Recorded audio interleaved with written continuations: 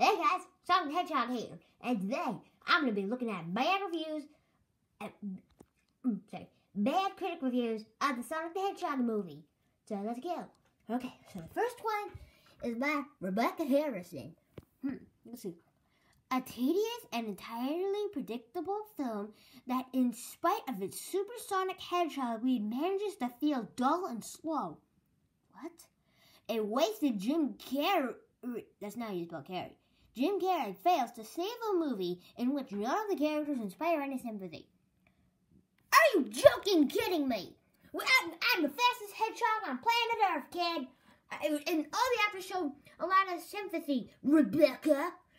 Jim Carrey, Ben Schwartz, James Marsden, Tika Sumpter. We all did a great job. Yeah. Oh, great. Okay, so the next one is, um, it is nonsense that bores me for an hour and a half without any intention of abandon, abandoning the, the showy effectism um, and, and the routine plots full of of all kinds in order to move it down the easier name. Full review in Spanish. No. No, no, no Spanish! Why do you guys hate this movie? Come on! This actually listen to us. The movie would the, the, movie would have been worse. This guy is awesome. Why do you guys hate him so much? This is mine. That's my face. Okay, yeah, sir. Okay, next one is from Parallax Hey. Now, hoping to capitalize on the wave of nostalgia around vintage video games, Paramount delivers a feature-length commercial to sell Sonic the Hedgehog merchandise to kids.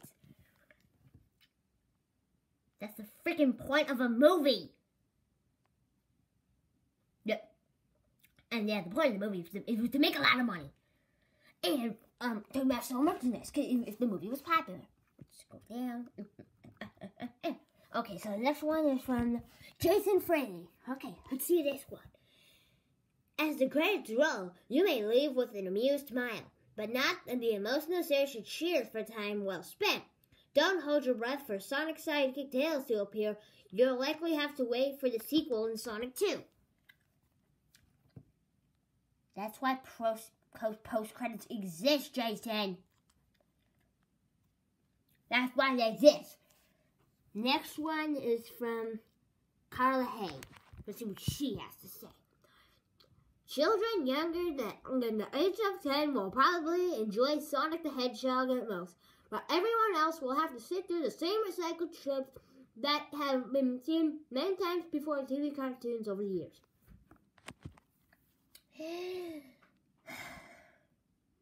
You don't have a soul, don't you? There were from little kids wearing diapers to older women in wheelchairs laughing at the movie. They loved it. Everybody liked it. I mean, Deb. Alright. Hopefully this will all end soon. Here's one from Ellen Machar. Yeah.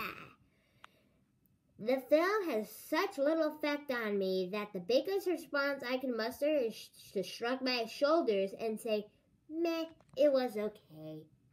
A C plus!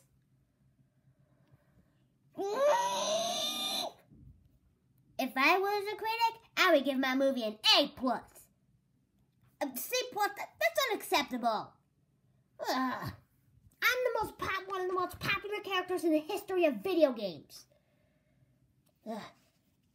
Okay. Boom, boom, boom. Boom, boom, boom. Boom, boom, boom. Doug Walker? I was reviewed by Doug Walker? The Nostalgia Critic?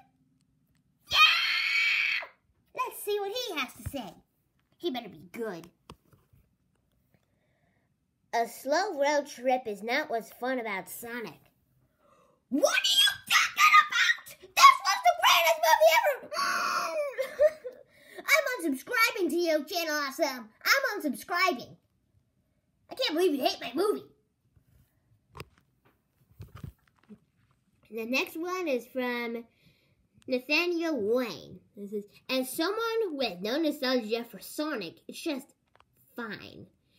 It only insulted my intelligence a handful of times at the end of the day. Oh, so you didn't grow up with me? Okay, that makes sense. Go down. There. Next one is um Derek Deska. Okay, so there's um this is a movie that frequently makes jokes at the expense of Olive Garden, while itself being the Olive Garden of movies. Well, Olive Garden in the movie was okay. I would have recommended um uh, my fast food restaurant, Sonic. I would have recommended that. Alright, so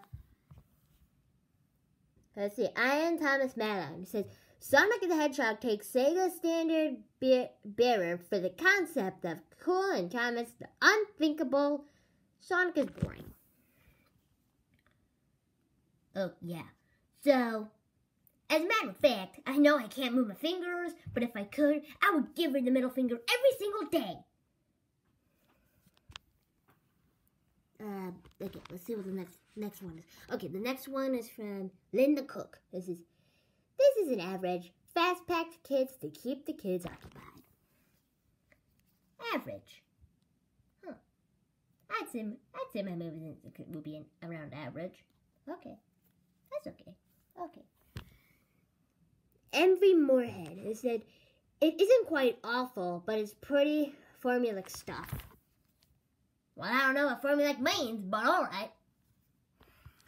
Then there's one from Bob Chipman who says, Bland, flat, basic of the shelf album meeting the the minimum requirements of being technically a movie because someone paid for the rights to Sonic the Hedgehog and had to make it eventually an even worse version of Howard the Duck. I do agree that Howard the Duck was terrible, but my movie is way better than Howard the Duck because for Howard the Duck, they used a puppet and CGI was not really frequently used. So I had to use CGI because it's 2020, boys. Okay, so the next one is from David Nussler. It says, Sonic the Hedgehog perhaps inevitably segues into a hit and miss section that increasingly more miss than hit. You're saying my movie's not a hit? Uh, what, uh, the, uh, Paramount actually saved the movie. Same with Jim Carrey. They had they redesigned Sonic. Listen to the fans. So, shut up. Okay, scroll down. Blah blah blah blah blah. Next one is, oh, oh, the next one is from Ed Potton, a top critic. Let's see. Um, sure, there's enough here to divert now people for a while, but their parents would do well to bring a blindfold and earplugs. Who needs a blindfold and earplugs? I'm Sonic the Hedgehog. I'm a, I'm a, um, next year is going to be my 30th anniversary, believe it or not. So don't ruin my 30th anniversary. Alright, so the next one is from Edward Porter. He said, This live action film has a chance of keeping children briefly entertained with its skinfully engineered set pieces, but its strident symmetry and Jim Carrey cannot redeem it. Screw you. Next one is from Uggs Cruise. There's the property is better off as a video game where if the character gets too bothersome with its antics, one can simply put a stop with the push of a button. Ugh, these, these people aren't making any sense. Hmm, scroll, scroll. Okay. Oh, thank God it's almost the last page. Only three more critics and I'm out. Ugh. Okay, so there's one Brothers, uh, Clary, Clarice Longray, the top critic. Okay. File this one away next to the live action Alvin and the Chipmunks, the live action Yogi Bear, and the live action Rocky and Bullwinkle. It's nothing we haven't seen before.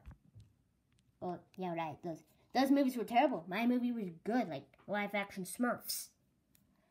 Okay, so there's um, Akhil Arora. Sonic's new design is all good, but that's only good enough to sell toys. Thanks for the compliment of my design and not the movie. Okay, last one and I'm all done. Matt Brunson. He says, seeing Jim Carrey back in action made me realize that I didn't really miss him. You haven't seen classic Jim Carrey since the 90s! You saw him, in, you haven't seen him since Ace Ventura, Dumb and Dumber, The Mask, etc. Well, I hate this. I hate these people. I hate these so much.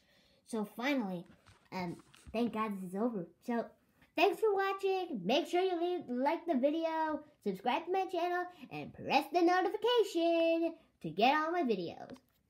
See you next time. Bye.